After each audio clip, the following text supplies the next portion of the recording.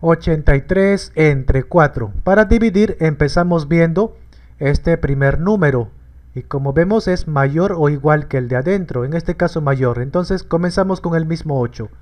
4 multiplicado con qué número me da cercano a 8 o 8 por 2, ¿verdad? 4 por 2, 8 exacto. 8 menos 8, 0 y como ya resté baja su compañero por acá. No olviden que 0 este lado no vale nada, sería solo 3.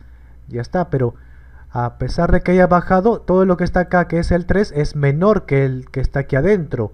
Significa que tiene que bajar otro, pero como no hay nadie que baje, se completa con 0. Es como si hubieran bajado dos números, y cuando eso ocurre, acá se coloca un 0 y un punto. Ahora sí, 4 multiplicado con qué número me acerco a 30? 4 por 7, 28, falta. Por 8, a ver, 4 por 8, 32, me pasé, por eso queda con 7. 4 por 7, 28 y ahora se resta 30 menos 28, 2. Ahora tiene que bajar alguien más, pero como no hay, se completa con 0. Acá, como, como se supone que debe haber punto acá al poner un 0, ya no es necesario colocar otra vez el punto porque ya está.